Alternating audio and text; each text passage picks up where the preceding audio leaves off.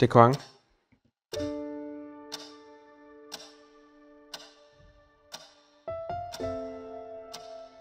Der var jeg oppe i sygehuset og besøgte min kammerat.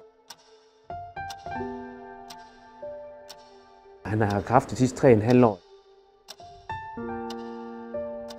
Han ønsker sig min min lykketrol.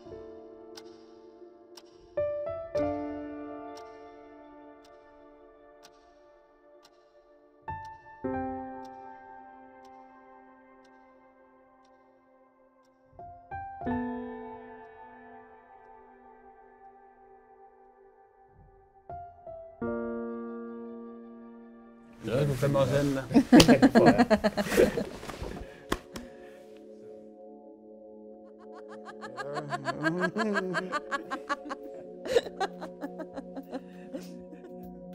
Du tager jo også dybt pis alle de indlæggelser, der har været. Ja, med Du er et- sygeplejersker. Ja. Du tager pis på dem, og nogle gange så krymmer jeg sådan lidt tær over det. Altså, de har jo den her veneport opereret ind. Og så, så, skal, så skal hun så stikke mig. Og så da hun så stukket mig, så siger jeg, ah, det gjorde ondt det der. Så, Ej, hun blev sådan helt... Så hun ved slet ikke, hvad hun skal gøre. Og så siger ej, jeg skal bare gas på dig. Så siger hun, du må ikke gøre det der. Så siger hun simpelthen, vi skal da have det lidt sjovt, siger jeg så bare. ja, man skal ikke til livet for altidigt. Man skal... Hvis man ikke kan grine af, af tingene, så, så, så bliver det også for kedeligt, synes jeg. Men Lige nu så er vi sådan inde i sådan et praktisk øh, situation, og der skal styr på nogle praktiske ting. Ja, Det er i hvert fald det, der, der fylder meget lige nu. ja og, men det er der ved at være styr på. Ja. Og så er det bare, at jamen, så skal vi ud og gå nogle ture. Øh, vi skal ud og spise. Øh, Ja, hygge. ja, hygge.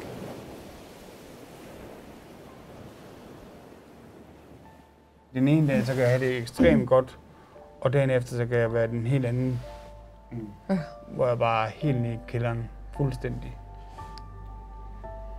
Og en af de ting, der faktisk har været meget ind over, det er jo, jeg har altid sagt til dig,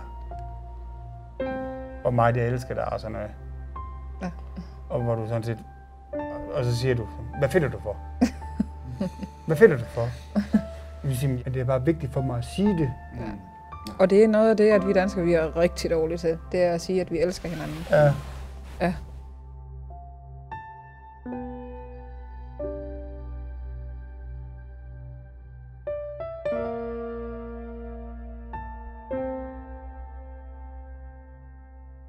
At det der med at udskyde ting, det der, hvor jeg, jeg tænkte sådan, at øh, ja, vi, vi, lykketrol, den kommer en gang næste uge, og så kunne jeg lige male den her.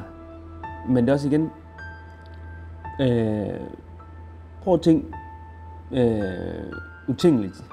Det er, hvis han taber kampen tidligere, end man går og regner med, så har han ikke mulighed for at se den her trold. Øh, se hans ånd igennem den her, hvad hans budskab vil gerne ud til.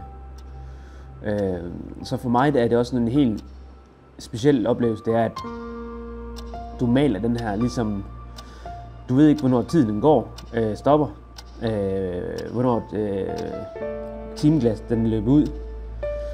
Så det er også nogle gange med at bare gøre det.